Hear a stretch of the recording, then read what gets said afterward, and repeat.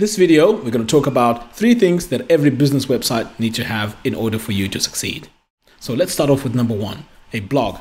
A blog is very important because this is where you can create your content and share it with your audience.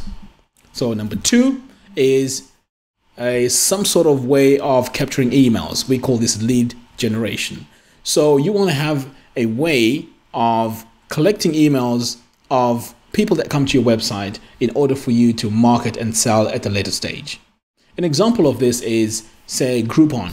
When you go to their website, you get a pop up, they give you something of value, and then you leave your email, and then what, and then after that, you start getting all these deals coming through to your email. So in your business, you need to have something similar. So before you can ask anyone for your email, make sure that you provide something of value for them to trade with that email. For example, you can create an ebook, it can be a case study, it can be a video. So make sure you give them something in return for the email. Number three, on your website, you need to have some way of sharing your content onto social media.